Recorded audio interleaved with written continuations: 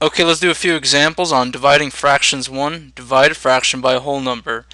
And the directions are telling us color each person's share with a different color and write a division sentence. So, 4 sixths of a pie is divided among 4 people. So, we color in 4 out of the 6 in this circle. Okay, so we do 4 over 6 divided by divided among four people so 4 divided 4 over 6 divided by 4 so you want to do 4 over 6 divided by 4 over 1 and 4 divided by 4 is 1 and 6 divided by 1 is 6 so, we have an answer of 1 over 6 now we could check that. 1 over 6 times 4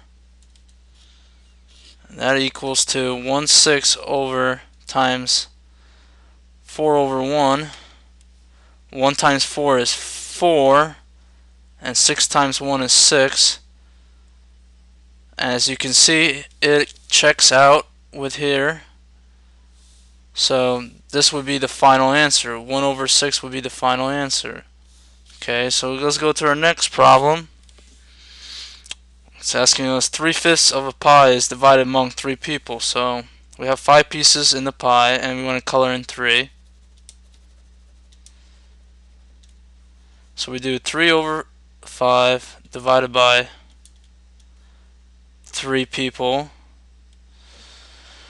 So we do 3 over 5 divided by 3 over 1. 3 goes into 3 divided by 3 go, is 1. And 5 divided by 1 is 5. We could check the answer. 1 over 5 times 3.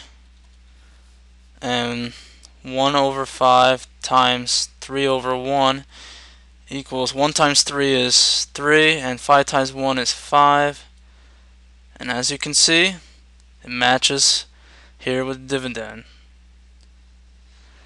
so our answer would be 1 over 5. So let's now move on to a few exercise problems so we understand the concept. What are we doing here?